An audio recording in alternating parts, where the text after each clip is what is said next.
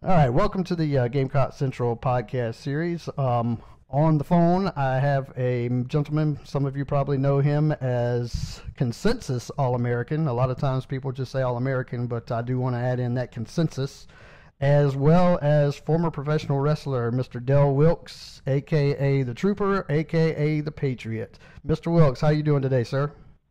I'm doing good, Chris. Hope you are. Oh, absolutely. I, I can't complain outside of everything else that's going on. Um, hope everything's going well for you and and your family, and uh, in this in these uncertain times that we're dealing with here. I appreciate you giving me the giving me your time. Um, just uh, guess just to get started, just kind of catch us up on where uh, Mr. Del Wilkes is today.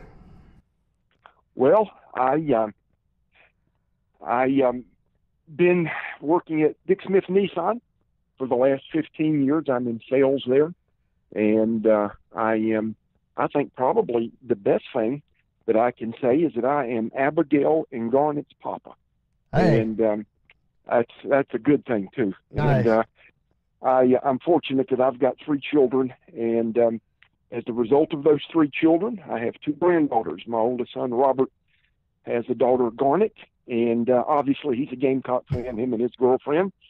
If it would have been a boy, it was going to be named Bryce, and uh, but it was a little girl, so they named her Garnet. And then my daughter Mally has a uh, daughter named Abigail, and Abigail's four.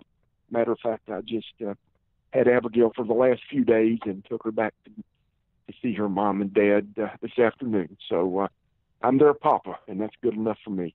Ah, well, that's great to hear. It's uh, I'm sure um, I'm sure they enjoy spending time with you, and it's not often that everybody has a uh, has a papa who has stories to tell like you do. Um, and speaking of stories to tell, I know we're going to probably get into a few of those today. Um, but first and foremost, um, you know, rather than kind of let things mix together, we definitely want to you know speak to our Gamecock fans out there as far as um, the folks out there who maybe they don't know much about the type of football that went on in the 80s when you played. Um, and correct me on any of this if I am mistaken, but um, uh, you came from Irmo High School, is that correct? That is correct. I graduated in 1980. Okay, so graduate in 1980. Um, before that, uh, from what I understand, you were a pretty big Gamecock fan um, just before you actually became a Gamecock. Is that accurate? Yeah, I uh, I grew up around a bunch of Gamecocks. Now, in my household, my dad really wasn't a big sports fan. He didn't watch sports. He didn't follow sports, but his father and my dad's three brothers did. As a matter of fact, two of them graduated from the University of South Carolina, and uh, through them, but especially through my granddad, and I just developed the love of Gamecock football. He was almost an encyclopedia of knowledge of Gamecock athletics, as were my dad's three brothers. Funny, my dad was the only one that didn't follow it, didn't know anything about it, but through his brothers and his dad, I uh, I learned the history of Gamecock athletics from basketball and football, and, and mainly football, but pretty much everything Gamecock. I learned through them, and they cultivated in me that love of of the University of South Carolina athletics.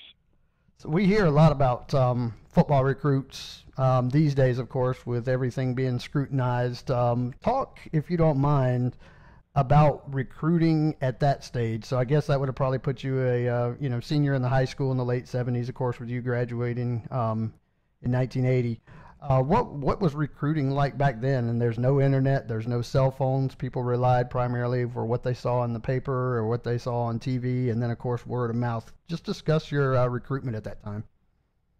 Well, obvi- obviously, it was just much more simplistic. It was a much easier, I, I think. I think what the guys have to go through today, and even the young girls, the young ladies that are go to college to play sports, it's just it's unbelievable the my microscope they're under, and, and through social media and and all those outlets, um, they're always being watched and tracked and talked about.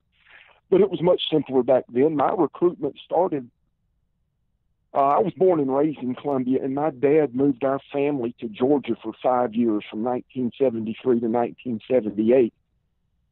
After those five years, we moved back to Columbia. But when I was in the ninth grade at Calhoun High School in Calhoun, Georgia, I was in history class one day, and uh, I got a page that I needed to report to the high school football head football coach's office, a guy named Buzzy McMillan.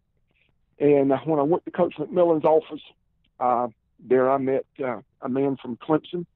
And uh, man, right now I'm drawing a blank. What's the guy's name? He works with us now at the university. Clyde Wren. Clyde Wren, yeah. Clyde was yeah. Clyde was at Clemson at the time, and uh, he had made it through um, Calhoun, Georgia, and he stopped in to see me and talk to me uh, about potentially a few years down the road playing football for the University of Clemson, and that made a huge impression on me. That it in the ninth grade, these people are already reaching out to me and contacting me, and then the contact continued through letters and, and, and magazines and phone calls and things like that. So it really was much more simplistic, just phone calls, and you're getting letters from people that attended the University of Clemson and graduated from Clemson. And then, of course, after that, followed other schools Georgia, Georgia Tech, uh, most of the schools in the Southeast, and of course, South Carolina. And my junior year, the beginning of my junior year, is when we moved back to Columbia from Georgia and we settled in Irmo. And then that's when it picked up with the University of South Carolina as far as in recruiting me and, of course, Jim Carlin. Now, the coach that recruited me uh, was Richard Bell.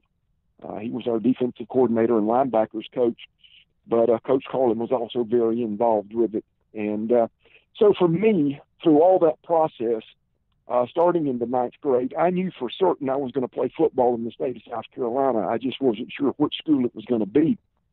Having been around all those Gamecocks growing up and developing that love for the University of South Carolina, it was still pretty pretty tough to overcome the fact that in the ninth grade, Clemson started pounding me pretty hard and keeping in contact with me, and that made quite an impression on me. And uh, I actually verbally committed. I took my official visit to Clemson and uh, that Saturday, I think they played Wake Forest, and the next morning I had breakfast with uh, Jimmye Laycock, who was the guy that was recruiting me at Clemson.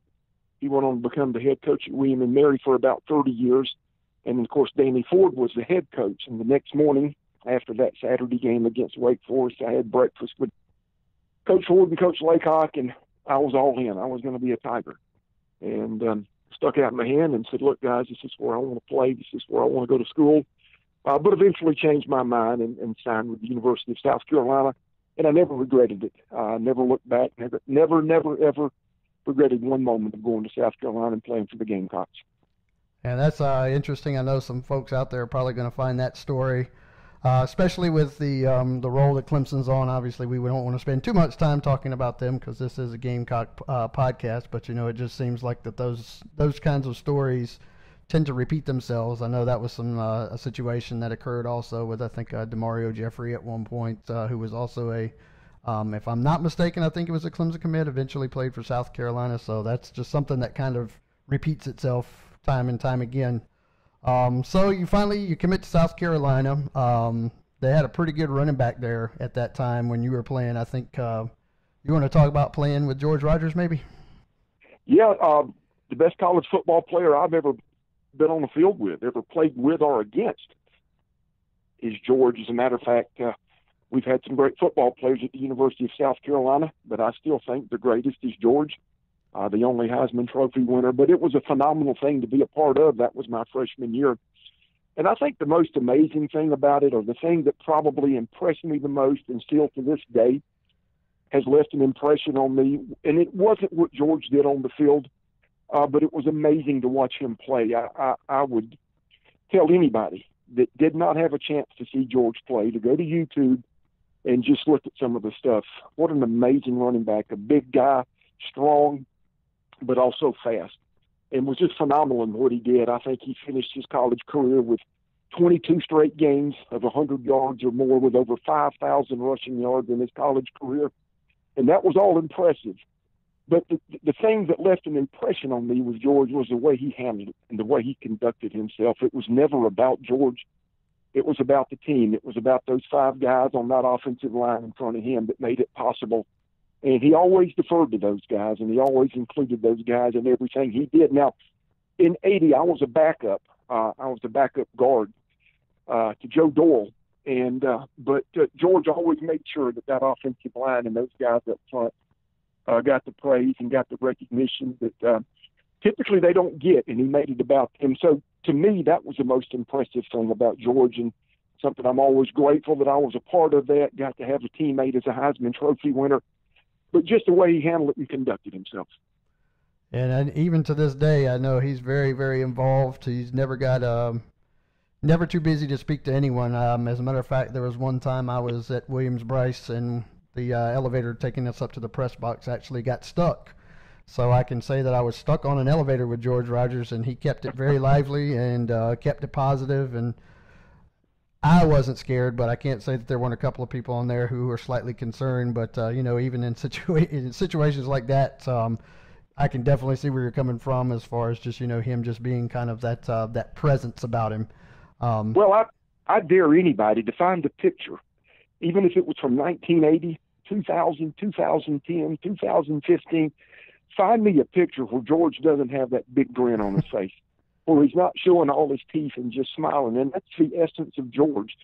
And you talk about that Heisman Trophy. Um, that's open to anybody. I mean, George will let people take that thing and, and, and take it to business functions and youth functions at their church. And even if George doesn't accompany it, George will, he's let teammates borrow it where they can take it and show it off. And he makes it a part of that group of guys. And, and uh, those guys that were on that 1980 team. So um, he's a special guy. He's been a great ambassador for the university, and I'm glad they've allowed him to do that. He deserves that.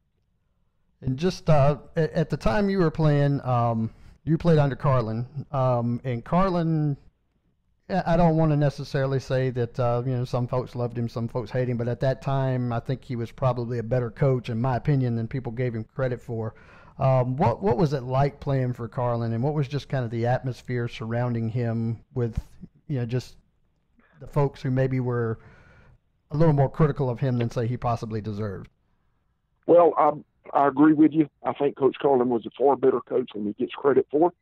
And I think there are those out there that realize that, that understand that, that remember when he coached. Uh, he was a good recruiter. We had good talent here when Coach Carlin was the head coach. Uh, but Coach Carlin did have sort of an abrasive personality. Uh, I guess some people looked at it that way. He was a straightforward guy. He spoke his mind. Uh, he didn't mind saying what he felt, what he thought and uh, a lot of people didn't like that. They didn't like that abrasiveness about him. Uh, but that was just his personality. It's just who he who he was. And in the recruiting process, I appreciated that. It, it came across as genuine. It came across as real to me. And in the end, the reason I went to the University of South Carolina wasn't because I grew up in a Gamecock family and the influence of my uncles and my grandfather. The reason I went to the University of South Carolina was Jim Carlin. And I appreciated that that honestness and that being upfront and forthright with you. And uh, I thought he was a very solid football coach. Had a good staff around him. Uh, recruited very well. He had success everywhere he coached. If you look back at what he did at Texas Tech and what he did at West Virginia, uh, Coach Carlin was successful at every stop along the way. And uh, he came in here back then. Coaches, especially in a lot of your major football programs, your head coach was also your athletic director. Now, you know, that doesn't go on today, but he came in here and he was the head coach and athletic director. And he had some ideas that some people didn't like. And uh, he didn't mind expressing those ideas. And he had some battles with some of the people in the press and some of those on the board of trustees and even our president, James Holderman, at the time. They had a very open and public battle with each other.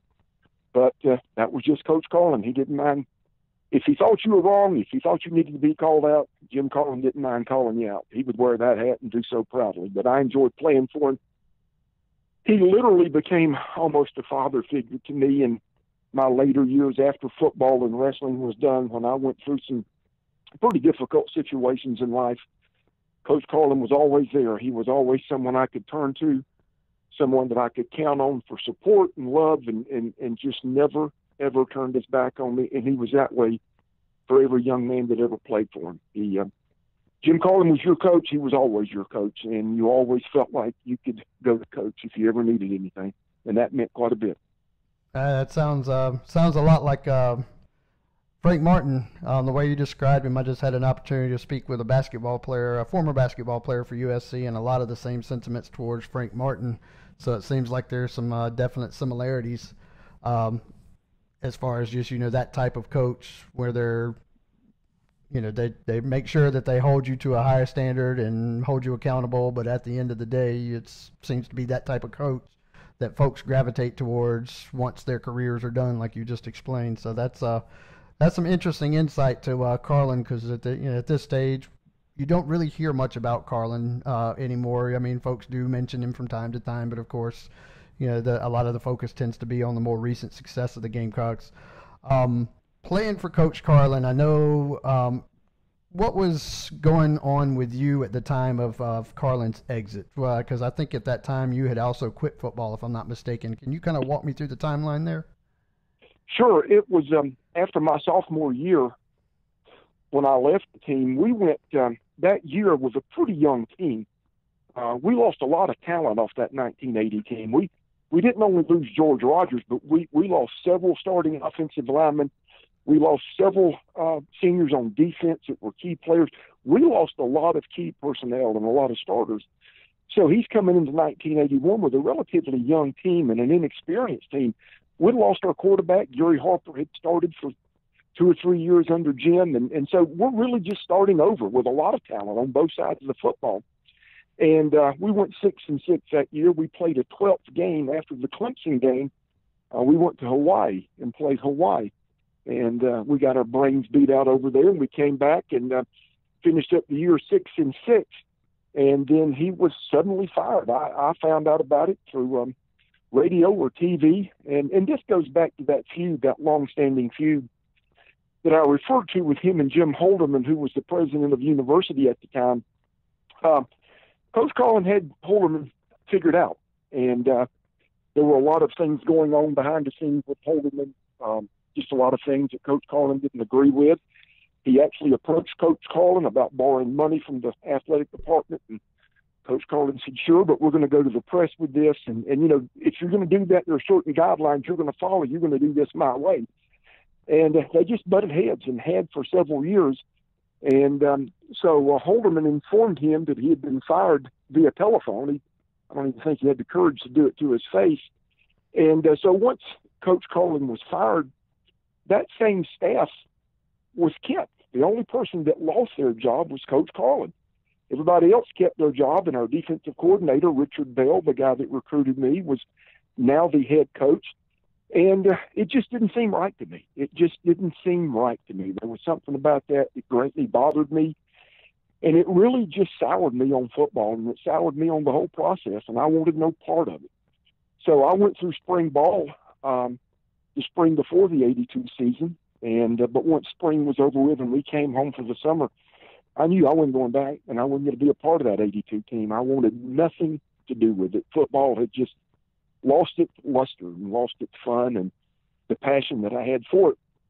And uh, and nothing against Coach Bell. I like Coach Bell. He's a fine man. But uh, I uh, so I set out the '82 season, and uh, it didn't work very well for Coach Bell. I think he, they won four games that year, maybe went four and seven, and uh, he lost his job after one season.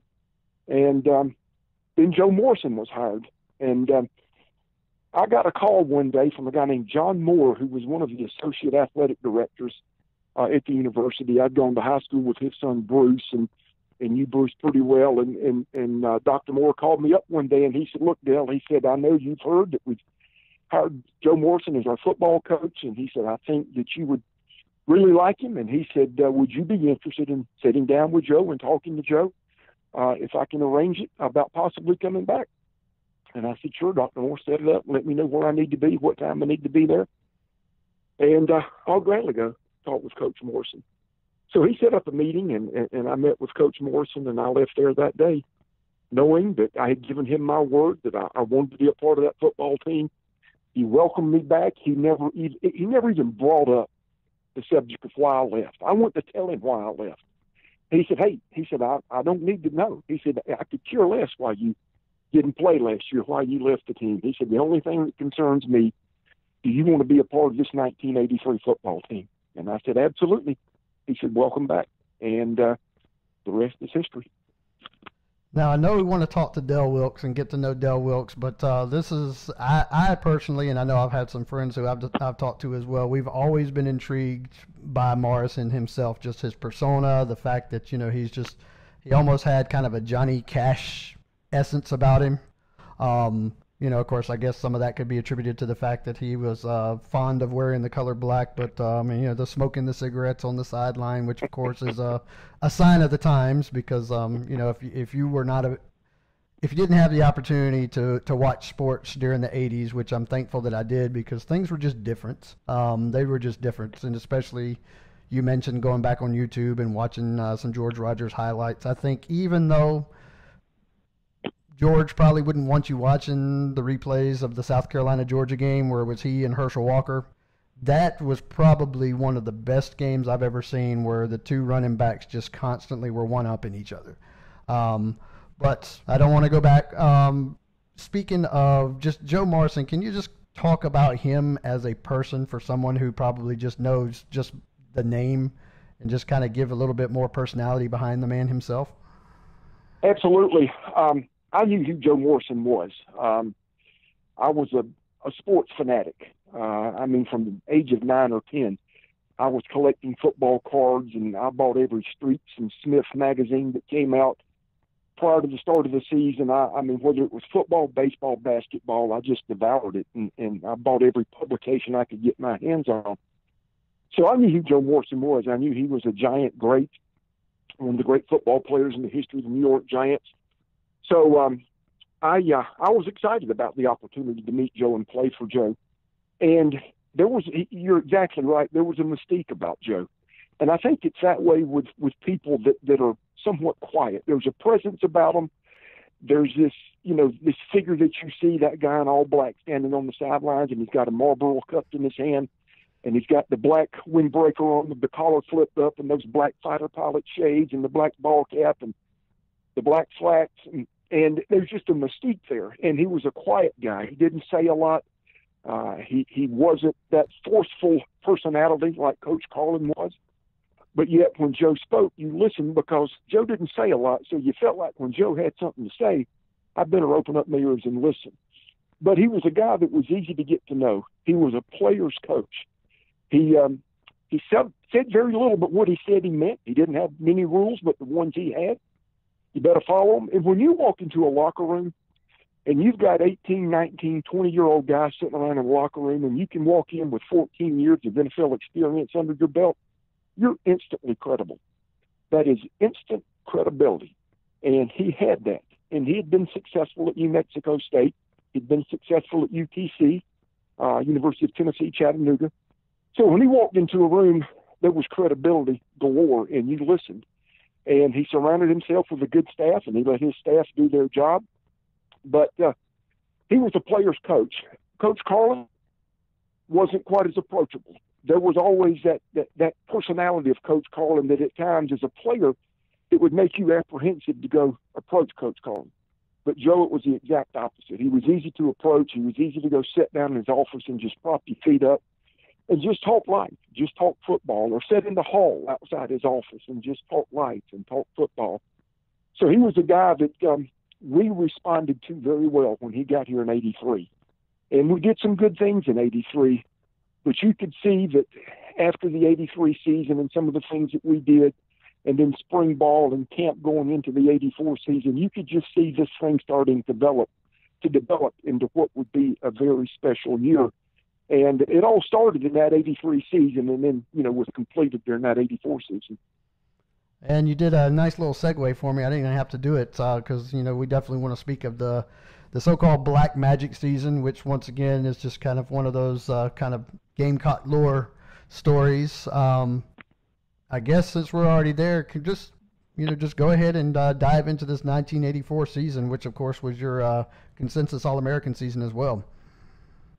Well, like I said, we um, we had a good. Uh, I don't I don't want to say good, but we did some things in '83 that you could see, man, if this group can stay together, if we can stay healthy, we could possibly do something special in '84.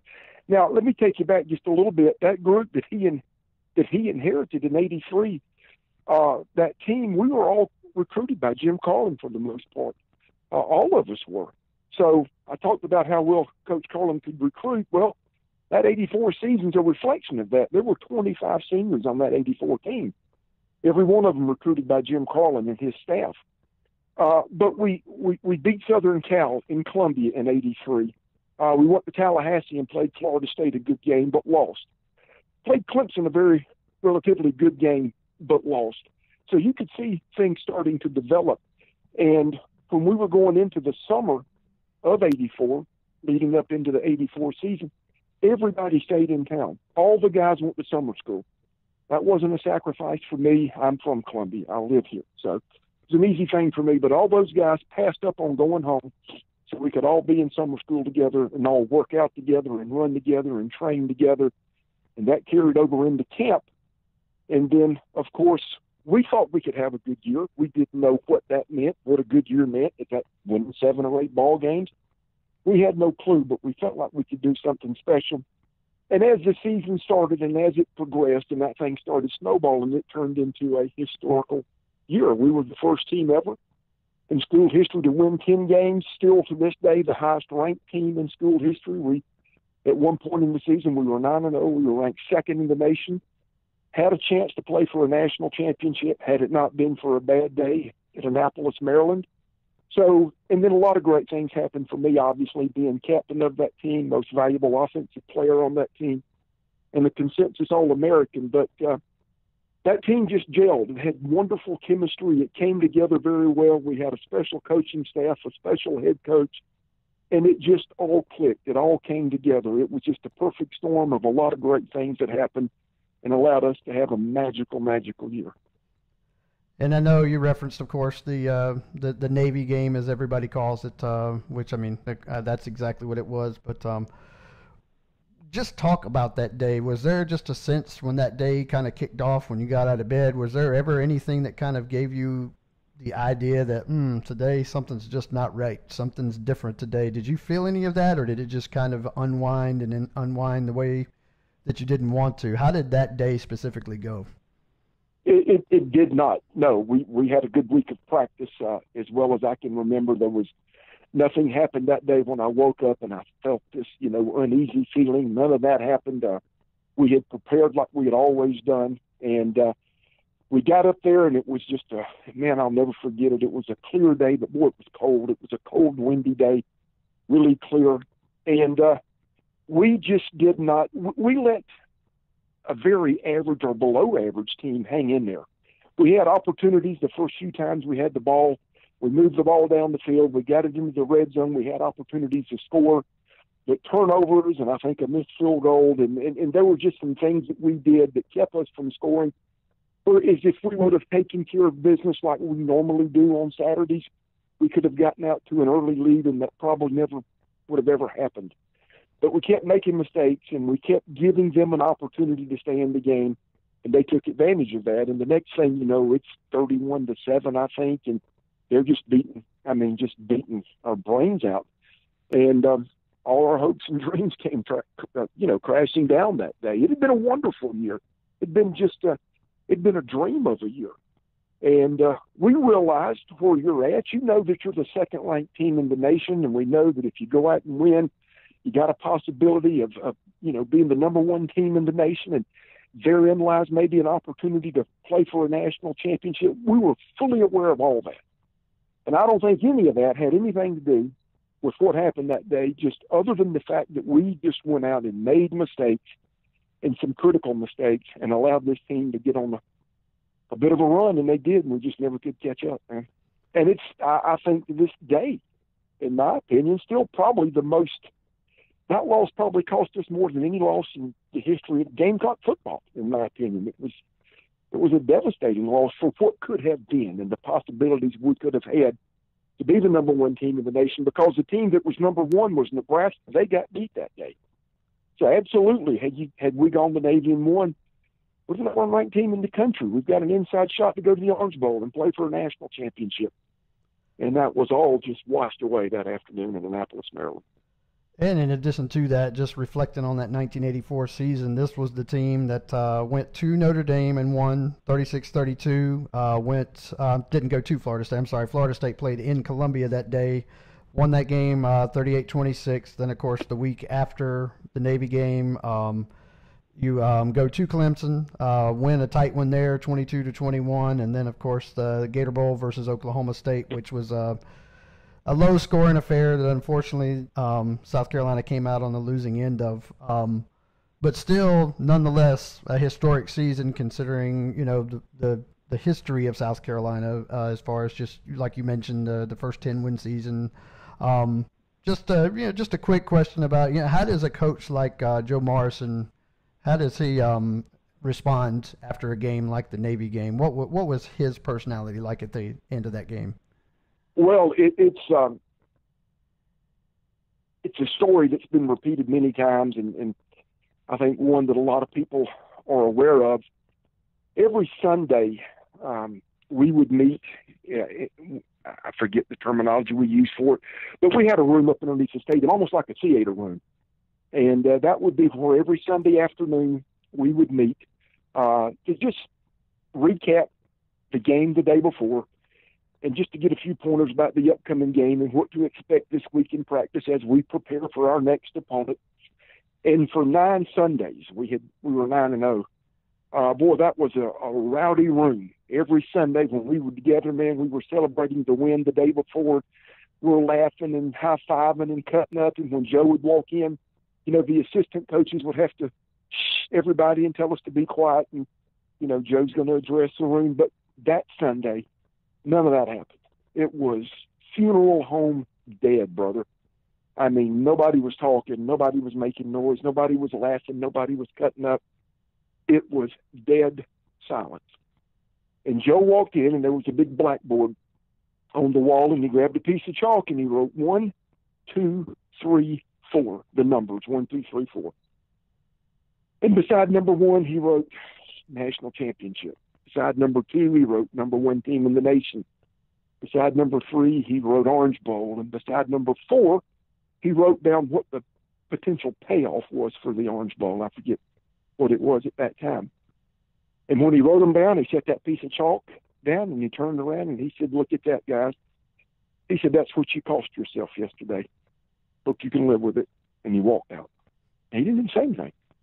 He didn't say anything else. That said it all. It was there on a big old chalkboard. It was there for all of us, just plain to see what we had lost. Just 24 hours earlier. And uh, it was devastating, man. And I'll be honest with you, I didn't think we were going to snap out of it. I didn't think we were going to kick out. Um, practice that week, it was just like there was just this low hanging cloud over the team. It was just uh, a week that really lacked enthusiasm, especially leading up to the Clemson game, like you would normally have. Um, I think we were all trying to process and deal with, what we had just done, and we had we had cost ourselves all those things that Joe had written on the chalkboard. We did it. It was our fault. And you've got to deal with that and process that and put that behind you and then play your biggest game of the year, your, your in-state rival, your, you know, a heated rivalry game. And uh, even into the first half of the game, we carried that hangover with us. We didn't play very well. But right before halftime, things started changing up at Clemson that day, and some good things started happening. And then it carried over into the third and fourth quarter. And with about 54 seconds left to go, uh, we scored a touchdown after driving 86 yards in a little over three minutes. And uh, Mike Hold scored, and then Scott Hagler kicked the extra point, and we won 22 to 21. But, buddy, it took us a while to kick out, and I'm talking about literally late into the second quarter of that Clemson game before we started to come alive a little bit and realize, man, we can. They got up on 21 to three. They were up 21 to three at the drop of a hat. And I'm sure most Gamecock fans, Gamecock fans were thinking, wow, you know, so much for this special season. But we were able to recover. It was a good halftime. And uh, I remember it was hot that day. And Coach Morrison was going around encouraging everybody at halftime. And he just felt that we're right where we need to be. And we've got this thing under control. And we went out in the second half and they never crossed the 50 yard line in the second half. Our defense played just swarming football, that fire ant defense. And we were able to put together a couple of sustained drives, especially that last drive where we went 84 yards in a little over three minutes and scored the winning touchdown. And uh, it turned into a wonderful day. It was the uh, the only time that I was part of a victory against Clemson, and we beat them in all orange. I think at that point they had never lost in those all orange outfits. So what started off as a bad day turned into a glorious day. And just, um, I'm going to come back because obviously I want to talk to you some uh, uh, about some other things, but I just want to fast forward a little bit. Just uh, something, a question that I have. Um, you know, fast forward approximately this time last year. Um, I know since Muschamp has taken over the program, I know Ryan Brewer's uh, really put together like an alumni group. You guys came out, play a little bit before the game starts, kind of get a chance to go back and, and see folks maybe you haven't seen for a while and I was able to uh, find you on the field and just kind of run over and shake your hand. And, I, the thing that stuck out to me was, as you said, that this is my first time here in a long time. For a former South Carolina athlete like yourself, I mean, we're talking from 1984 to 2019, and that time span. What what has your kind of involvement with the University of South Carolina been, and and your experiences with the coaching staffs and things like that? How has that been for you? pretty much non-existent. Uh, this isn't an athletic department that's known for reaching out and embracing former athletes and football players. Uh, I think that's changed over the course of the last few years. I think Coach Muschamp and, and Ray Tanner, uh, I think have done a better job of that, but uh, previous administrations, uh, not so well. And uh, so I've watched from afar uh, I think I was part of the Letter, Letterman's Association 20 years ago for a year or two, uh, maybe even longer than that. But it's not been a very embracing athletic department when it comes to those things. Um, and uh, matter of fact, I know this was a different group of people and a and a different staff and a different athletic director. But in 1994, uh, as we were getting ready for the 10 year anniversary of that 84 season, and in 94 keep in mind, we were still the only team in school history at that point that had won 10 games. Um, you know, Spurrier had that three year run there of 11 wins, but this was 94. So I reached out to the athletic department and I was going to try to put something together uh, to get as many guys in town uh, where we could get together and just, you know, sort of celebrate what we did 10 years ago. And through the Letterman's Association and through the athletic department, I reached out to them to see if I could maybe get a list of names, addresses, phone numbers of guys that maybe were in the Letterman's Association, uh, that maybe donated to the Gamecock Club that were on that 84 team. Keep in mind, this was before cell phones and social media, so it was a little more tough to reach out to people back then. We didn't have Facebook and Twitter. And they just flat out told me, thanks, but no thanks. We have no interest in doing that. We have no interest in assisting you in doing that. We have no interest in that whatsoever. Good luck. Um, you know, move on. So, um, like I said, they've not been a very embracing uh, athletic department when it comes to that. And I'm not talking about you got to reach out and kiss our butt and make us feel special. I realize that's a long time ago, man. A lot of people nowadays that are alive and buy season tickets that weren't even alive then. It could care less what happened then. But um, I'm glad they've done a better job of that. And with this flag football game before the spring game, the day of the spring game, and the day before, you get to have uh, uh, a meal with Muschamp and ask him whatever questions you have on your mind about the condition of the athletic pro- or the football program and where this football program's headed. And uh, I appreciate that, but for a long time that wasn't there. And you know, I think Clemson has always done a fabulous job of that. Uh, a wonderful job of reaching out to former football players and having them come back to games and seeing them on the sidelines and, and, and making them a part of what they're doing. But uh, I'm glad the university uh, is doing a better job of that. It's interesting to hear that sentiment, but I definitely have heard the same sentiments um, from other players. I think Ryan Brewer pretty much steamheaded that movement, and I think from what I was told is that Muschamp has been very supportive of that movement. Um, I know he's proud that uh, that he sees the group of folks that have come uh, been able to come back because um, in a couple of years that they've done that, I've noticed that the enrollment has significantly increased. So um, hopefully, that is something that we'll see more and more of because it is it's very very nice to see, like you said, just more involvement from the uh, from the alumni, especially folks like yourself who were on that 10 win team, and just uh, kind of moving forward. It'd be interesting to see what uh, continues to happen there. And just uh, getting a little more personal. And um, if anybody has not listened to any Del Wilkes interviews, you can find plenty of them on YouTube. And Del Wilkes is a very honest person. That's the one thing that I've noticed. He's a very honest person. Um, he's not a guy who's going to pretend like he's a perfect person. I appreciate myself personally because I can definitely see how he's used this to create some good. Um, there's a story back, and I want to say it was your junior year at Carolina, maybe 1983. If I'm incorrect, please definitely correct me on that. But uh, there's a story that I've heard that um, there was a game that when you, I guess, had your players and coaches meeting, it was said that Del Wilkes is the reason that we lost that game. Can you talk about that story?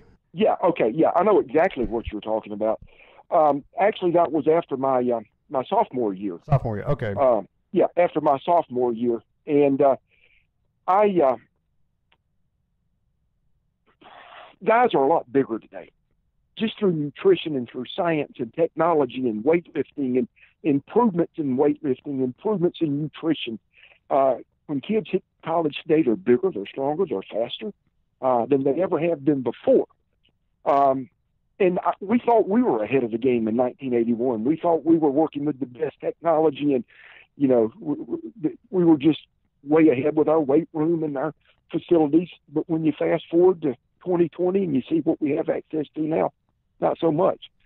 But we went to Athens, and um, I was a skinny 240 pound uh, sophomore offensive guard and I'm playing against a guy that was a two-time All SEC. I mean, two-time, yeah, All SEC, uh, two-time first-team All-American, and uh, defensive lineman. I think his name was Eddie Weaver. I'm not sure about that, but this cat was jacked. I mean, brother, he was a man, and I'm talking about physically. He was a man, and he was fast. He was explosive, and I'm a 240-pound sophomore that is just getting my butt kicked I mean, every way you can imagine. I'm hesitant to come off the ball because I feel like if I fire off the ball, he's going to sidestep me and give me that old uh, bullfighter, old deal. And then if I'm passive, he's going to run over me. So I didn't know what to do. I'd had no clue. I was just overmatched. He was so much more physically ahead of me that it was just crazy. He just dogged me that day and embarrassed me. And the bad thing about that is there's always film. There's always film that your coaches are going to go watch, and then you get to watch it with your coaches in front of your teammates, and you get to get humiliated again and embarrassed again about that. And I played so bad and got abused so bad that day that Coach Carlin stood me up in front of the team. Same guy that would later become like a father figure to me. That day I wanted to kill him. But he stood me up in front of the team after practice, Monday afternoon, after the Georgia game, and just I mean, browbeat me. It was unbelievable.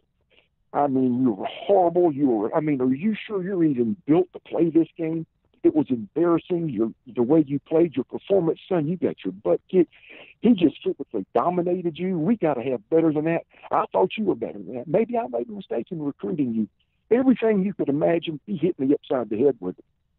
And I determined that day. Now, whether or not I was the reason we lost that game, I don't think they were a much better team than we were at that point, but that did light a fire under me. And I promised myself that I would do whatever I had to do, whatever.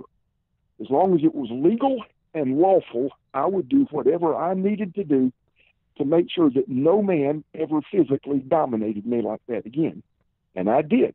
And um, it was not against NCAA rules. There was no rules against it. There was no drug testing back then. I actually called a team doctor, Dr. Emmett Lunsford, who is now dead and uh, died in a plane crash. And I called Dr. Lunsford and I said, Dr. Lunsford, I said, I'm doing everything I possibly can to get big. I'm eating, I'm just packing the food in, I'm going to the weight room, and I just don't seem to get bigger or stronger. I have hit the wall. And I said, I've heard a lot of people talk about testosterone, dianabol, anabolic steroids. And uh, he said, What's your pharmacy's phone number? And I gave it to him, and he called me in. Prescription, I think it was maybe injectable testosterone or either dianabol, but, but one of those. And again, this was in 1981. There was no drug testing, there was no rules, nothing. I didn't break any rules. It was prescribed to me by a doctor, a team doctor. And uh, so I uh, I used what was prescribed to me, and uh, I got bigger, I got faster, and I got stronger.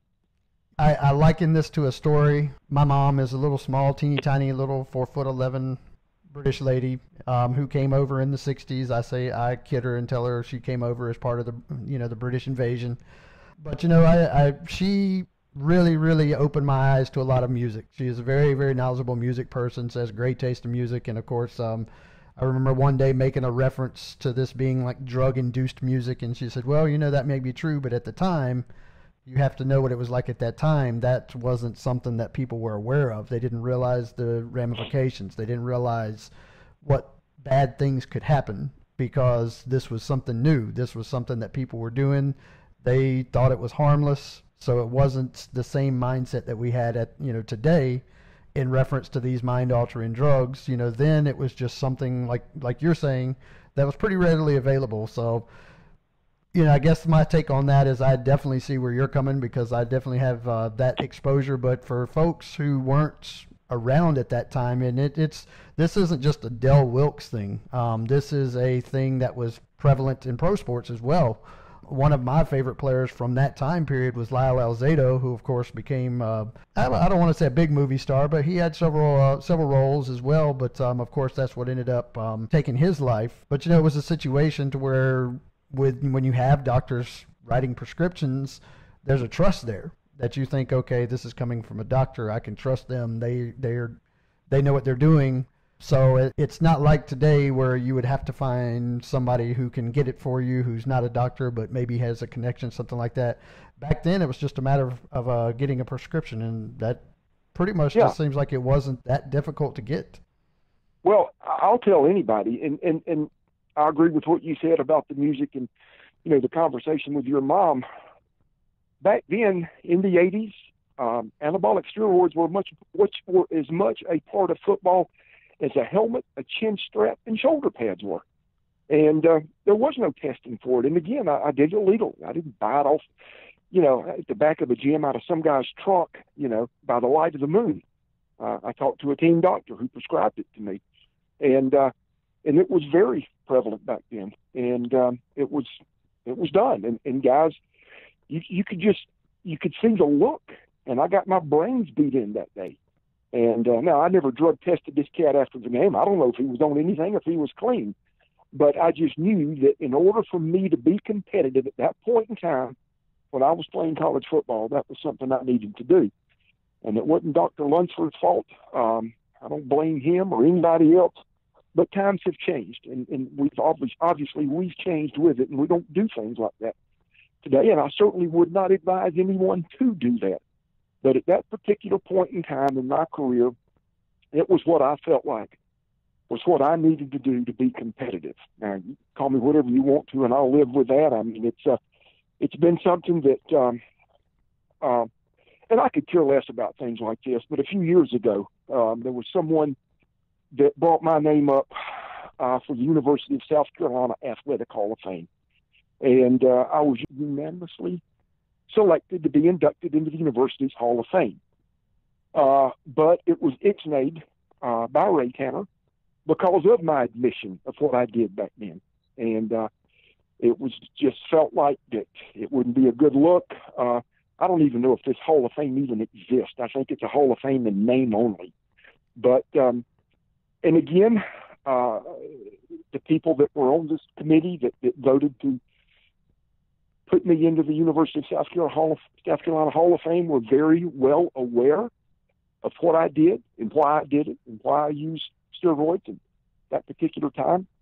And they still felt like that even so, uh, this guy should still be in the university's Hall of Fame, but uh, Tanner wouldn't have anything, you know, wouldn't let it happen. And I could care less. Who cares about stuff like that? I don't need that to, you know, to um, make me feel good about my career at South Carolina. I know what I did and what I contributed, and I understand why I did that. I'm perfectly fine with it. That's perfectly fine. But you know, those things. It's a different time today, and certainly we would certainly tell anyone not to do that, and and uh, vehemently argue against that. But at that particular time, it was just part of it. It was part of the athletic uh, experience for a lot of football players across America, be it college or NFL. And I think too, uh, just a point in mentioning, and I'm going to kind of give away my my other hat, so to speak, because I was a, a, uh, school teacher for a while, and uh, some of the things that I've discussed with athletes before. A lot of times, I, I, I, in my opinion and in my experience, a lot of times athletes, by someone who's just on the outside looking in, are just expected to be grown men. But we're still dealing with, in some cases, guys are coming in as young as 17 now. Um, yep. You know, 17, 18, 19, very impressionable. You know, somebody like a team doctor who's older, a trustworthy figure, um, somebody who would you, you you would assume and once again, this is a different time, so you wouldn't necessarily say that he should known better.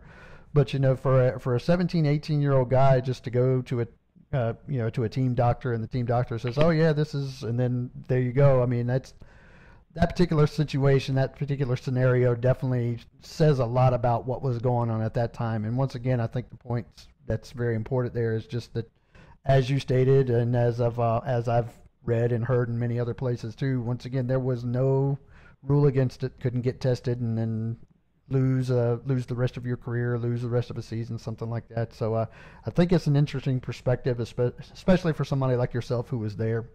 And just moving forward, I know you had an opportunity to play in the NFL. That didn't necessarily work out probably the way that you wanted to. We won't get too deep into your pro um, pro wrestling career because I, I feel like that would be a different podcast for a different day.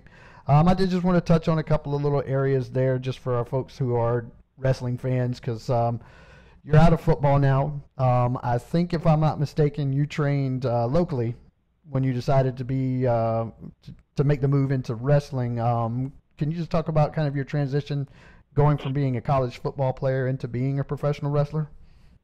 Yeah, absolutely. Uh, my NFL career was very short. I signed with the uh, Tampa Bay Buccaneers in '85 as a free agent, and then I was in camp with the Falcons in '86, and they released me prior to the start of the '86 season, and I had always been a huge wrestling fan. Uh, I was as much of a wrestling fan as I was a Gamecock fan when I was a kid.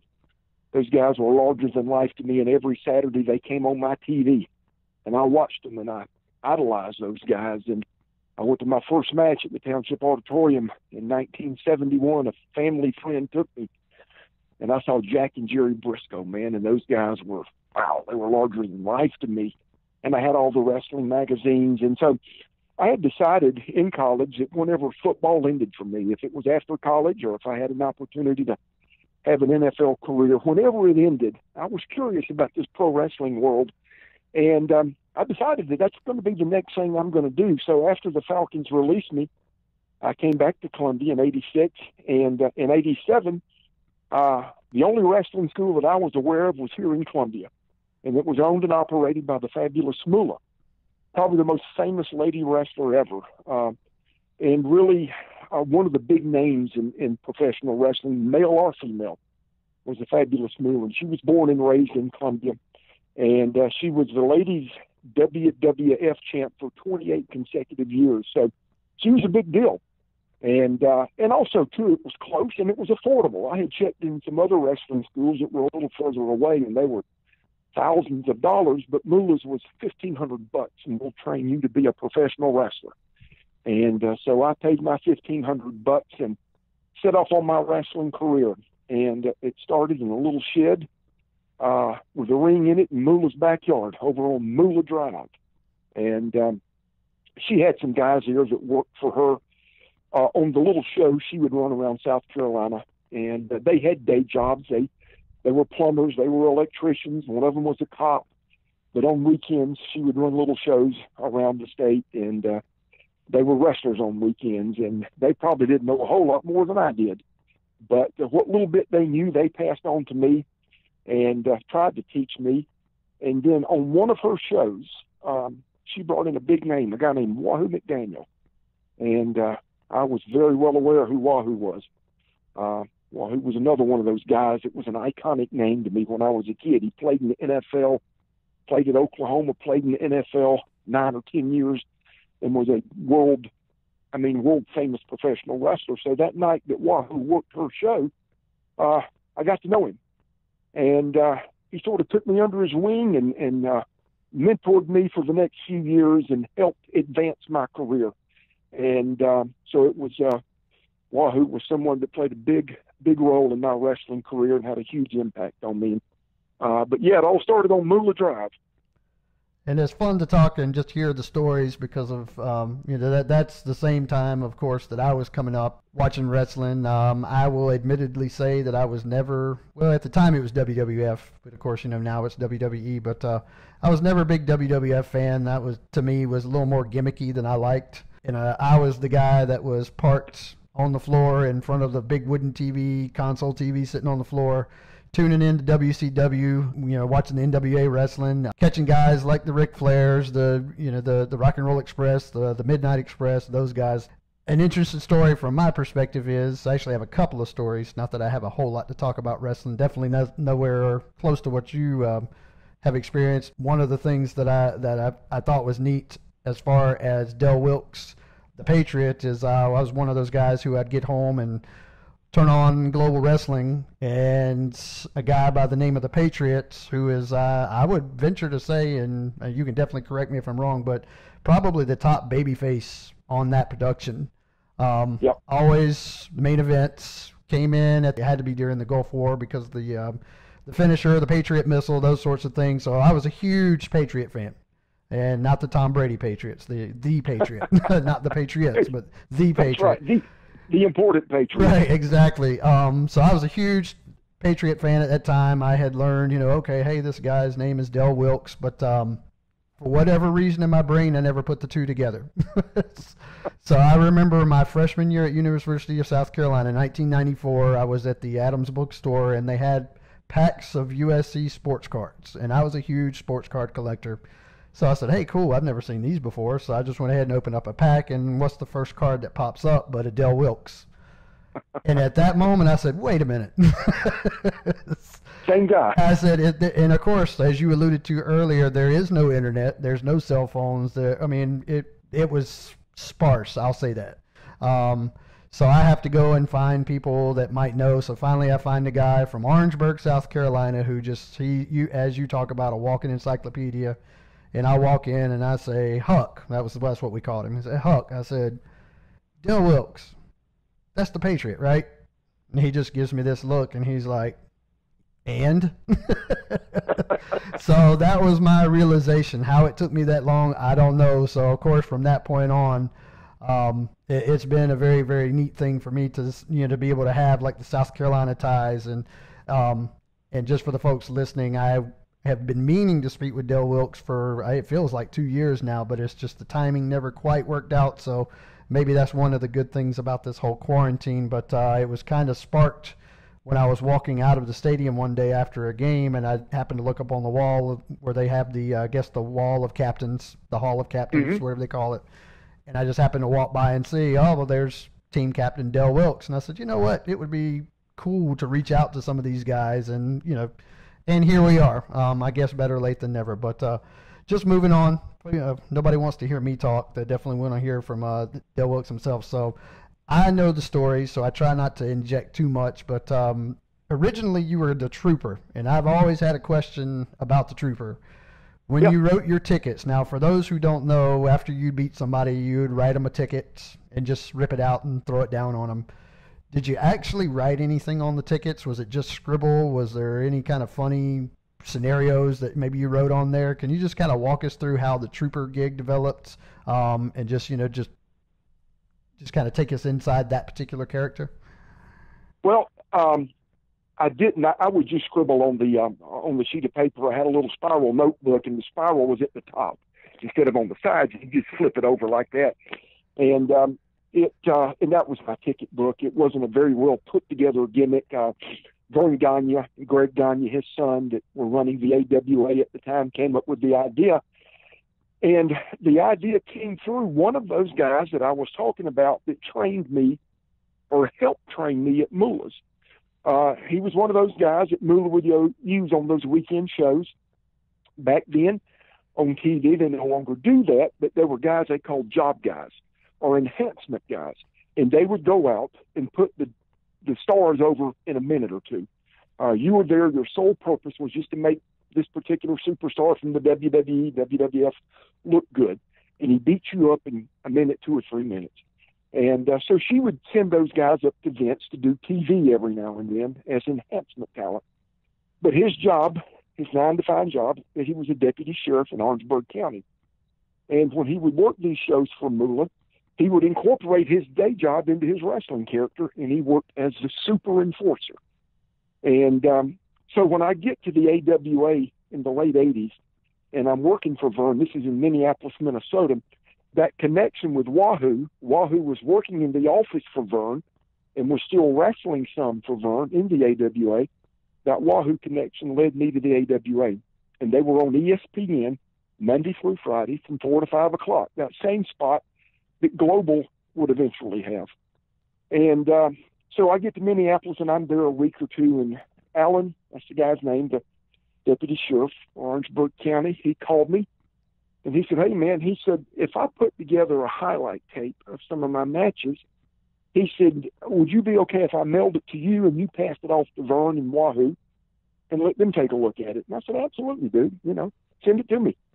So he sent me a tape, and uh, I got it a few weeks later, and I took it to Wahoo and Verne one day, and I thought no more of it. And uh, a couple of weeks down the road, Verne called me, and he said, "I need you to come to the office." He said, "There's something I want to talk to you about." So uh, I get over to the home offices of the AWA, and I walk in, and there's Wahoo, Greg, and Verne sitting there. And uh, Verne says, "You know that tape you gave me with that guy down in South Carolina that does that cop gimmick?" I said, "Yeah." He said, "We have no interest in him." He needs to remain a cop. Wrestling's not in his future, but we like the idea of a character like that. You've got that sort of square jawed look about you, that southern accent.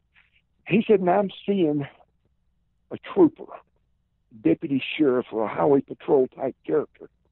And uh, he said, We think you're the guy that can do it and pull it off, and we'll make you this white meat baby face. And, you know, you fight for truth, justice in the American way. And I said, I'm in. Sign me up. And uh, so that really opened a door for me because while the AWA was literally on life support at that time and basically a dying company that wouldn't stay open much longer, it exposed me to a nationwide audience by being on ESPN.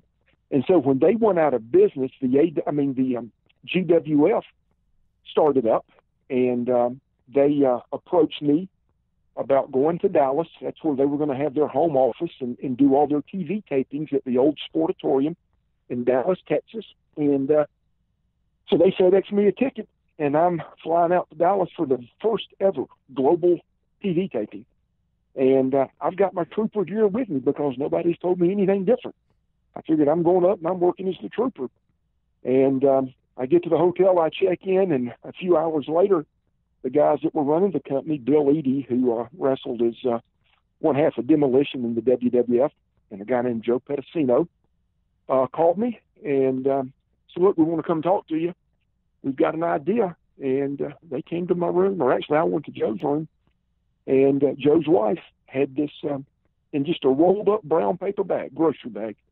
She pulled out this red, white, and blue mask, red, white, and blue tights, and red, white, and blue trunks, and you're exactly right as to the relationship of the Gulf War. Uh, we were involved in that. So patriotism was really at a fever pitch, and they said, We're thinking that wrestling could use a very patriotic character right now. As we're battling Saddam Hussein and that evil Iranian empire, and it blew up. It was uh, it that night when I walked through the curtain and went down the aisle at the sportatorium. That was the first time anybody had ever seen that character and that place erupted. And uh, so I was at the right place at the right time, man, and somebody else had the idea, and I'm very thankful that they did. And I've been to some of those shows similar to what you're speaking of, which um, it's always interesting to hear about how a character is created because it, uh, you know some of them do tend to, to go over immediately. Some of them do take a time, uh, take a little bit of time before people kind of warm up to them, and then of course there's the the gimmicks that just never seem to get off the ground, like the let's say the Shockmaster, which was probably one of the worst ever, if not the worst. one of the things I've always thought was interesting because I've been to WrestleMania. I went to WrestleMania a few years ago when it was in New Orleans. It's a, I mean, it's an amazing spectacle. It really, really is. But I'm always going to be a purist at heart. Probably my other somewhat funny claim to fame story, if you want to call it that. I've got a friend of mine who is um, he's had some opportunities with WWE, probably not as big as he would like, but um, he and I went down to a show in Walterboro, and this is not too terribly long ago. There's a lot of little small productions still going on these days. Of course, you know the, the main emphasis is always going to be WWE with their ability to reach out and be on TV and, and whatnot. So we were at this small production in um, Walterboro, and we get there, and the guy comes out and says, "Hey, we um, we may have to cut some of the matches tonight. There's only one ref, and we've got a too big of a card for one ref to cover each and every match." And I'm just sitting there thinking, "Okay, we just drove to Walterboro for no reason. Nothing against Walterboro, but that's not somewhere I'd just choose to go for unless I have a specific reason. No to be reason. There. And uh, so my friend, who is the wrestler who trained um, with Susan Green, I'm not sure if you've had any interaction with, uh, with uh, I guess she calls herself Tex, who uh, she actually has a place out, I think out in Congaree, if I'm not mistaken. But um, Right. he just says, "Don't worry, my friend right here, he's trained. He'll do he'll do some matches." so my gimmick, believe it or not, is the barefoot ref because when I went to watch this show, which was in the dead of summer in Walterboro, so you can imagine what the the weather and the atmosphere and everything was like. Uh, So all I have on is just a t-shirt, a pair of shorts, and I'm just wearing a pair of, uh, I guess people today call them slides, sandals, whatever. So they say, "Oh, well, you comfortable doing that?" And I mean, I was on the spot, had a very limited time to response, and I said, "I, I guess I can't say no now, can I?" But I had no tennis shoes, wearing a pair of shorts. They throw a black and white at me. I put it on, and then I, I go out and I ref a couple of matches with uh, a pair of shorts on and no shoes. So that that is my gimmick at this point, and it stuck with me. I've got the video. It's uh, it's it, and I mean it's fun for for people who are critical. You know, I, I'm sensitive, I guess, to the critical nature because I grew up watching it. I enjoyed it. I've loved it. I've got friends who participate in it, and I mean guys like yourself who came up when you did. And this gets me back to my point. I'm bad about going off on tangents. This gets back to my points. When you went out to wrestle that night for the very first time as the Patriot, talk about that arena because arenas like that are not what folks know today. There, it's not like going to the Colonial Life Arena to watch a WWE show. Um, just what was that atmosphere like? What was I mean? Did, they even have AC in those buildings? It did not. In, in the Sportatorium in Dallas, it, it's a very famous venue. Um, and this is this was in the early 90s, and, and I think the Sportatorium was probably built in the 40s. And um, it was a venue that Elvis Presley played when he was, you know, on his rise to fame. And it was a venue that, that, that basically was used for country music and, and wrestling. And it was a smaller venue, and, and, and the people were right on top of it. It maybe would seat 2,000 people, maybe something like that, maybe a little bit more. But there's no air conditioning, and it's just an old wooden building. And this was in uh, that very first night when I went down the aisle there at the Auditorium. This is in the middle of June. And um, I mean, it's hotter than blue blazes. There, there's no air circulation. There's no air conditioner. Uh, the, the the dressing rooms are back in the bowels of this old building, and it's stink and it's damp and it's dark back there, and and you can just tell that there's been no airflow back here. It's just a musky smell. So no, it's not a glamorous, well lit building with fifteen thousand people sitting around. It was a small arena. Uh, there were a lot of people there that night, but it was just boiling hot, thick air. And I'm wearing this mask, and it is just, I mean, it's like an inferno. And especially, too, at TV, they've got those lights on anyway. And uh, the lights at the sportatorium were literally, that ring light right over the ring was literally right on top of you. So that's even more heat. And, uh, but no, it's not glamorous it, in, in no way, shape, or form. As a matter of fact, most of those shows that I worked for Moolah when I was coming up, I've worked in bars, I've worked in VFWs, I've worked county fairs. You were talking about having to be called into action with uh, shorts and a t-shirt and flip flops. We went to work a county fair one night somewhere in North Carolina, and this is in the beginning of my career when you're working venues and events like this. And the guy that was supposed to show up with the ring, the promoter had paid him so much money to rent his ring that night. Well, another local rival promoter paid him more money not to show up with the ring and to ruin this guy's show. So we're at a little county fair. So what do we do? We the promoter goes over and gets some hay, uh, bales of hay from the animal uh, where they've got the animals on display, and he just puts out a bunch of hay.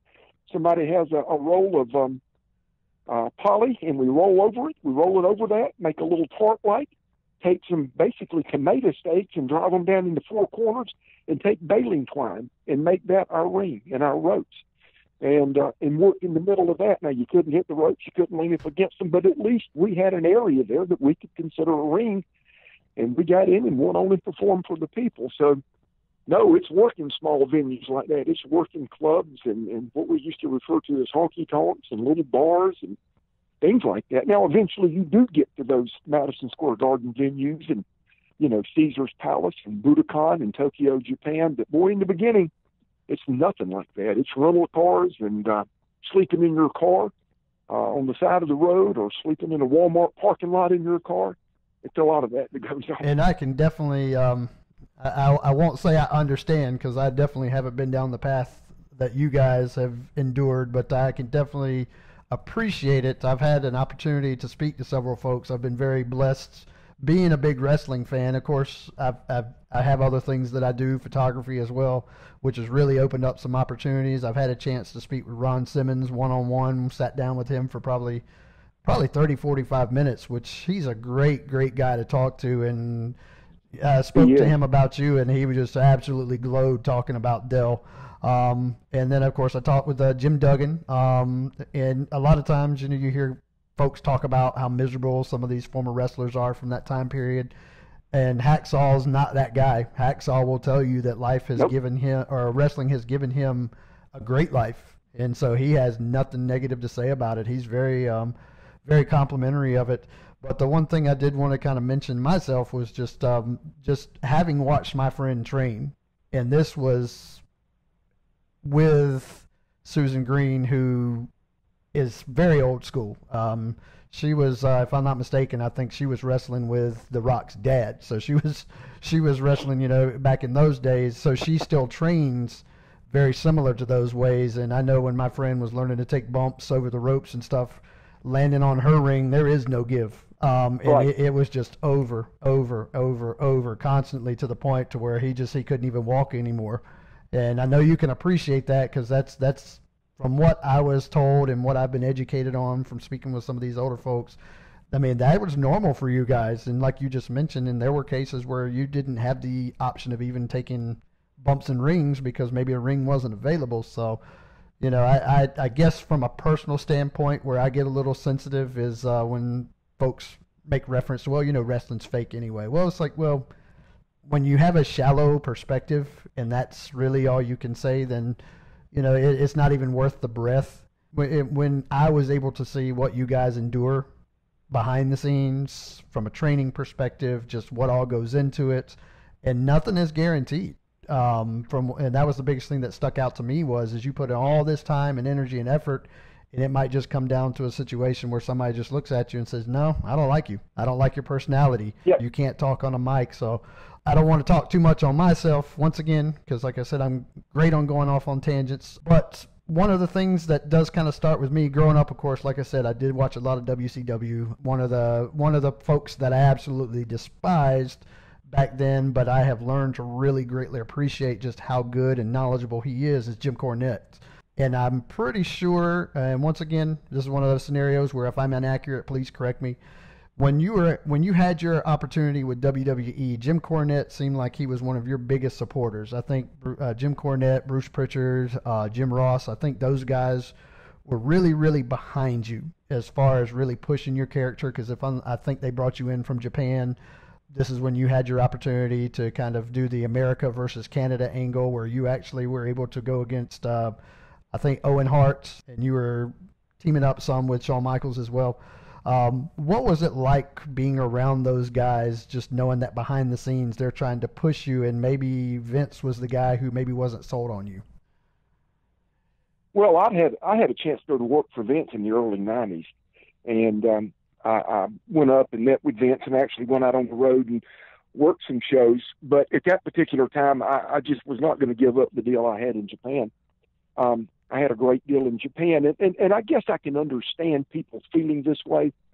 But I had a tremendous career before I got to the WWF, and I guess people look at the WWF as sort of, or now the WWE. It was the WWF when I worked there, and they look at that and they they and I guess rightfully so think that that's the pinnacle of wrestling. Well, for me, it wasn't. I had been a, a huge star in Japan and had a great career in Japan. I'd had a, a good run in WCW with Marcus Bagwell when we were tag team champs there. And um, so I knew all these guys. Um, you know, we may not work for the same company, but our paths crossed at some point in time. So um, I um, appreciated what Jim did for me, believing in me. He was a tremendous ally, as was uh, Bruce and uh, and Jr. as well. And this time, when I did go to work for Vince, um, when I met with Vince, he made it very clear that that uh, you know if I did go to work there, that he probably wanted to do something different with me than the Patriot. Um, and he said, I just honestly, in this day and age of wrestling, and now we're talking the late '90s, he said, I don't, I'm not convinced that a masked guy can really get over. And my argument to Vince was, well, Vince has gotten over all over the world. I've had a heck of a run for Mr. Baba in all Japan. Not too bad of a run in WCW. Uh, so global, wherever I've been, I've been one of the top baby faces in the company, one of the top guys in every company I've worked for. And I think it can get over. And he approached it with some skepticism, but after a couple of weeks of TVs and, and uh, seeing the reaction I got from the crowd when I would walk down that ramp and, and, and go through the curtain, he was then convinced that, yeah, this is a pretty good character and we're going to leave it like it is. And then decided to put me in that angle with Bret Hart because Bret had just turned heel and he was the um, he was the champ there. He was sort of the face of the company, and it was perfect timing for Bret and I to, to, to pair up together and work that that angle with this flag waving guy from America, this guy from Canada that's just putting the boots to our country and saying all the bad things about Americans and how horrible we were. So it just fit like a glove, and um, we had a good run at it. And for me, the problem was, and it just ended up being the end of my career. When I got to Vince, I was I was almost done. I was damaged goods when I got there, bro. I was put together with, you know, with with um, uh, string and and baling wire and, and pins and all parts of my body. I was I was on borrowed time when I signed with Vince, and I really did. I I, I signed a three year deal when I signed with Vince, and uh, I tried to hide all that from Vince because I knew that the end was in sight. That physically I just couldn't continue. I had some major issues with injuries and had some major surgeries, and was in and I was in need of surgery on an elbow and a knee and uh, I thought, man, if I can just make it through this three-year contract, this is some extremely good money I can get here, and I'll just pack it in and walk away. And uh, I had no illusions of having a long run there because I knew I was on borrowed time, and uh, and I did. I, I just physically could not continue to go, and uh, I just finally had to, along with my orthopedic surgeon and myself and Jr. and Vince, we had a conference call, and you know I was done but uh, those, um, I appreciate Cornette. He he really did. He uh, he was a tremendous ally on my behalf, and and I still consider Jim a good friend. And you know, Jim and I keep in contact and communicate with each other, but we're uh, two totally different people politically and what we believe. Jim, you know, one way, and I'm exactly the other way, but that's never hindered our friendship and nor his ability to uh, to go to bat for me when I worked for Vince and, and was in the WWF at the time. So I'm very appreciative of Jim and Pritchard and, and JR and all those guys that uh, that went to bat for me and were a big ally of the Patriots. And I know I discussed earlier, just uh, I don't want to go real deep into your wrestling career because I've already taken up a lot of your time as it is, and I would love to be able to speak with you again in more depth just about your wrestling career because you've told the story plenty of times. If folks are interested, there's more podcasts out there, like I said, where you really kind of get into the nitty gritty. Some of the things that you've alluded to, you go more into depth. And, you know, maybe if there's another opportunity, which I would absolutely love to speak with you more about wrestling, um, just because there's a lot of questions that I have too. But uh, sure. just just kind of to wrap up today, I do have some other just kind of smaller questions. Just um, just kind of fun stuff that I, that I've always wondered. So we talked earlier about the jobbers or the enhancers. Who would you say would be the top jobber? Because I have one in my head, but I would rather defer to the experts when it comes to jobber or tag team jobbers. Who would you put out there as probably the best of that particular style of wrestler? Well, I'm going to give you two. Now, there have been a couple of jobbers I think that were great characters, uh, personalities. Um, uh, Iron Mike Sharpe being one of them. But in doing their job and doing it properly and going out there to enhance that talent, uh, the two best, in my opinion, are George South and Barry Horowitz. That's uh, actually going to kind of segue me. That's kind of interesting that you pull up George South because I actually had a chance to see him not too long ago. I want to say maybe a couple of months ago. I'm from Anderson, South Carolina. that's my home base. So right. I'm not sure if you know where I'm going with this, but of course I've got a little. I might be a little biased, but I would probably say that my choice for top jobbers would have to be Bill and Randy Mulkey. Did you ever have a chance to do anything? I was you to say the Mulkey. Did you ever have any interactions with those guys? I never have. Now, you know, we run into each other at these fan fest type deals uh, that that I do and they do, but uh, I see them occasionally at, at those type of, of events. But as far as getting in the ring with them, to my knowledge, I don't think I ever had an opportunity to work with the Mulkey brothers. But yeah, they were they were very good at what they did as well. And it's interesting because I, uh, speaking just kind of back on Cornette, uh, one of the reasons why I've really have a, a, an appreciation for him is is when he actually put the Mulkeys over when they won a match, and uh, I think it was versus the Gladiators. I would have to go back and check that, but um, one of the guys under the mask for the Gladiators was actually George South, which was interesting because um, where I wanted to kind of go with this is I, I, don't know how much do you continue to keep up with wrestling these days? Is there is there a specific promotion that you continue to watch, or are you just kind of a guy who catches it casually? Where are you at when it comes to wrestling these days? I'm a guy that catches it casually. I uh, I tune in uh, on Monday nights occasionally to watch some of the uh, product that Vince is putting out, and I'll tune in occasionally on Wednesdays to watch some AEW. Um, but and then, and then I'll go to some of the smaller events. Uh, last month I went down to an event in uh, Hanahan, South Carolina, and to see some of the guys that I knew that were going to be working, some of the guys I know that were going to be working that show. But I would probably consider myself a little bit more of a casual fan now. And I know you and I have had a few interactions, um, and it's interesting that you bring up AEW. I'm I am not associated with any of these folks whatsoever. You know, not that I, there would ever be a reason for me to, but there has been times where I've said certain things, and folks have asked me, or well, you know, are you saying that because you're involved, or whatever the case is. So, and I know from your background, there's certain things you can and can't do depending upon the promotion that you're in. I'm actually a big AEW fan, and there's a lot of people out there who are very critical of it. Once again, I bring up Jim Cornette. He's very, very vocal.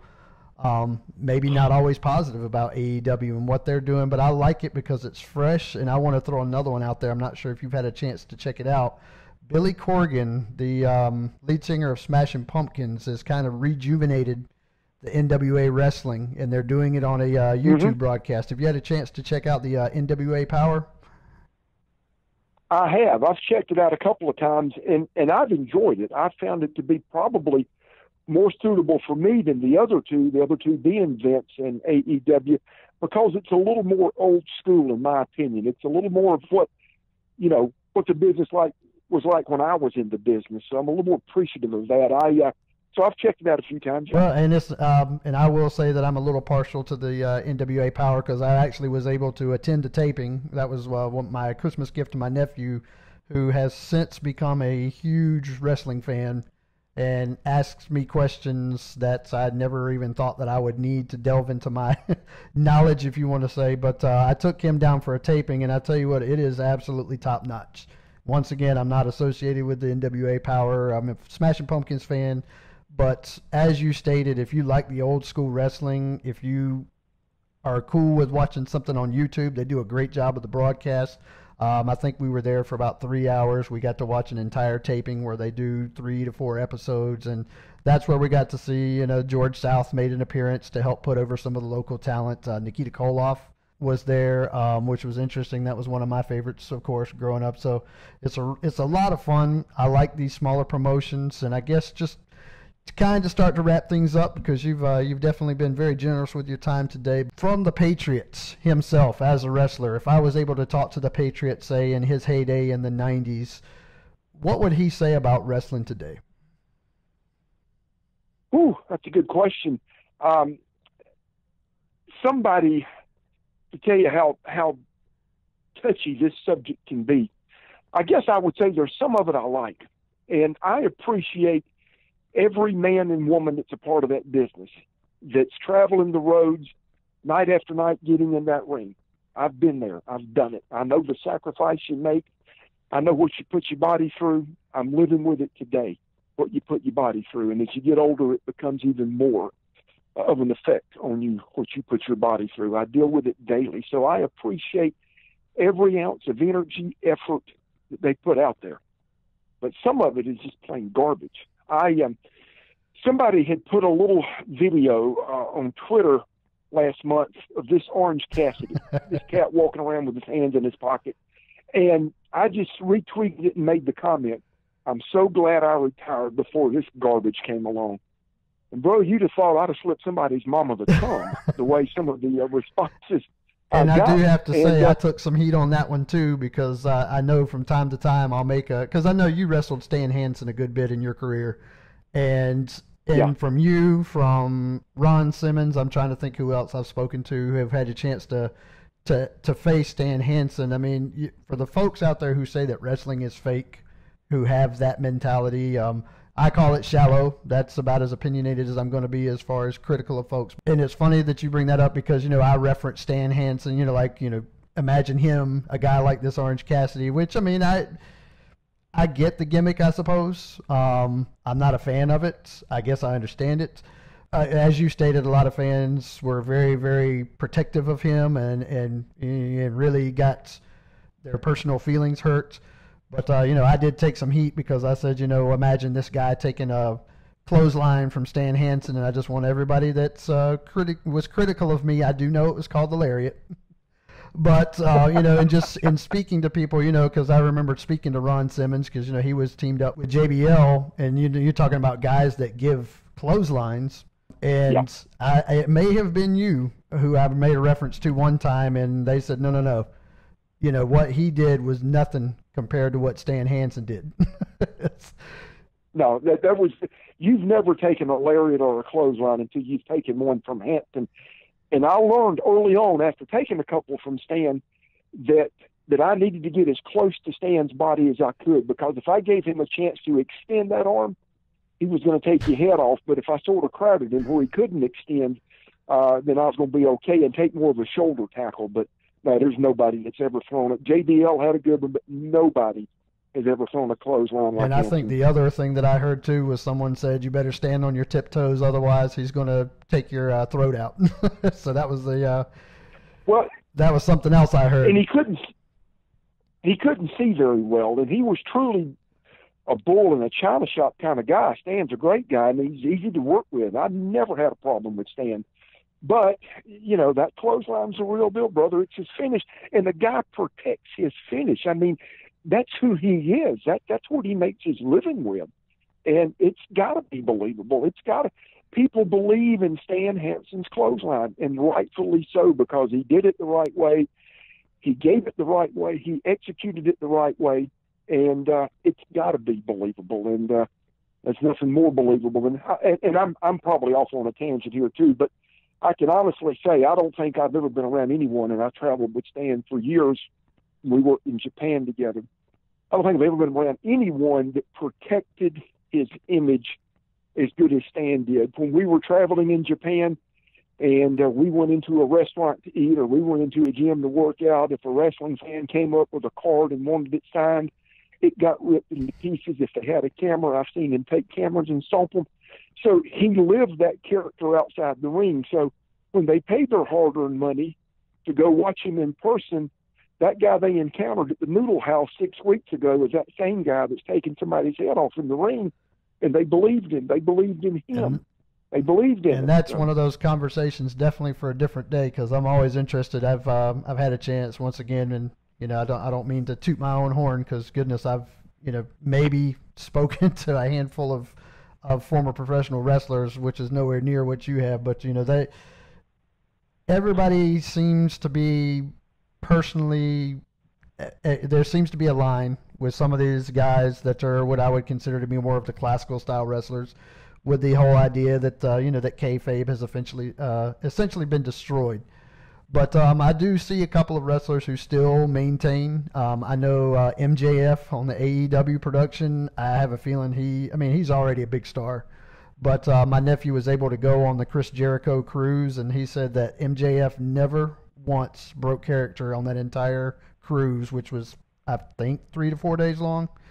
And you know, and Right. it's just interesting to see that there's guys that still subscribe to that, which I, you know, that's one of the things that I I, I enjoyed because you know I, I know my sister grew up hating Ric Flair because the time that she met him he was rude and nasty to her, but he was in character, so it wasn't just a rude nasty Sure. from whatever. So, and I, and I encourage anybody who's maybe not a wrestling fan to just understand what it is. You know, it's it, it, anybody can go out and watch a movie and be completely enveloped by the movie.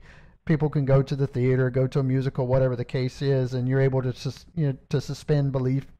But you know, when you're looking at something like what you guys were doing, there's a lot of planning, a lot of training that goes into it. I've been able to go backstage before a match and see two guys who come from two different promotions who literally have five minutes to plan what they're about to go out and do, and they're slated to go 30 minutes. So you know, it's Yep. it. There's definitely a lot of uh, a lot going on, and, and and I appreciate it. I hope that a lot of folks will kind of gain an appreciation. It's not for everybody. Well, let me let me share this with you, and and, and I'll I'll be Sure. brief about it. Uh, uh, do you remember? Are you familiar with Destroyer? Yes, Dick sir. Beyer died Yes, last sir. year. I got I had the privilege of working with Dick in Japan, and and uh, he was a huge star. A lot of wrestling fans today may not even know that the man ever existed, but he was a big star at one time. And Bob was uh, was a very loyal man. And guys that had ever made him money, even into their 50s and 60s, Bob would bring them back and put them on a tour or two a year when I worked for All Japan. And this was Dick Beyer, the Destroyer. I've gone to work out with him. I've gone to a movie with him in Japan. I've gone to eat with him. He wore his mask everywhere. He never broke character. And while we got along and he liked me and I liked him and he respected me, he thought that I was doing a disservice to the business because I would not go out in public with my mask on. Now, I wore it into the building and I wore it when I left the building. Get a block or two close to the building, I put my mask on and I wait till I'm a block or two away from the building and I take it off. But Dick, he performed life with his mask on everywhere he went. He went to a Super Bowl. He showed me a picture. He was a huge Bills fan and he went to one of the Super Bowls the Bills was in and he had his mask on at the Super Bowl. He lived the destroyer. It was who he was. It fed his family. It put his kids through college. It did everything for him. So he never broke character. And you go eat with Dick, and you went with a guy that wore a mask. So I appreciate those Hey, that, that's um, and it's always fun to hear stories like that. I had a chance to go here recently. Um, Jake the Snake was actually in Columbia not too long ago, um, where he did kind of a session at a comedy club, and, and just to hear the stories from from guys like Jake the Snake. Um, and you know, you definitely have more of a story than we told today. But to hear what you guys have dealt with in your personal lives outside of the spotlight, outside of the ring, the things that you deal with, so that you can do, you know, what fans show up to see. A lot of times they don't know what you're dealing with behind the scenes. And you know, I know your story. I encourage folks to check it out if they haven't um, already. They can go to your website, which I have been meaning to do a plug for, and I apologize that it's taken this long to get there. But you do have a web a website that you spoke about, DelThePatriotWilkes.com. Um, I know you have some information on there. Folks can contact you. Folks can follow you on Twitter. Um, you're pretty active on Twitter, so a lot of folks can kind of keep up with you there as well. Um, you have a lot to offer photos, toys, videos. I know you have a DVD that came out not too long ago that talks a lot about your, your wrestling career. It's a lot of good stuff on there. I need to get on there and order some stuff because I've been meaning to. You know, other than that, I just want to say thank you so much for your time. Um, it's been very, very informative. I'd love to speak to you again at some point. I'll give you a chance to kind of recover from all of my questions. But outside of that, if there's anything else you'd like to add, by all means, feel free, sir. Well, I think you've covered it, and I appreciate you plugging the website. And yeah, and and, and I think we're very reasonable with with all our merchandise on there uh, at a very reasonable price, and it's all autographed. And like you said, everything from pictures, cards, masks, T-shirts, DVDs. Um, I think the guy that runs the website for me also keeps uh, uh, the dates on there where I'm going to be uh, making appearances and doing personal appearances and fan fest type events. And uh, yeah, man, I appreciate it. I appreciate you calling me and able to get together and do this. And, and yeah, let's do it another time and we can talk more wrestling. I guess for anybody else out there, um, are you still actively selling cars outside of the whole coronavirus issues? Yeah, we're, we're, right now things are slow and understandably so. But I've been at Dick Smith Nissan on uh, Fernandina Road for uh, July will be 15 years, and it's been a wonderful second career for me. And uh, so I'm there and I still do a lot of the fan fest events and personal, you know, personal appearances and things like that. So we certainly have plenty to keep us busy. There's some folks out there who are thinking about getting a new car. There you go. There's your opportunity to kind of help out a fellow Gamecock slash wrestler, performer, whatever you want. But uh, hey, go check it out because I'm sure you probably be more than willing to help some folks out when it comes time for a new car as well. But, Absolutely. Um, other than that, thank you again, sir. I greatly appreciate your time, and I look forward to speaking with you again. Thanks, man. Have a good afternoon.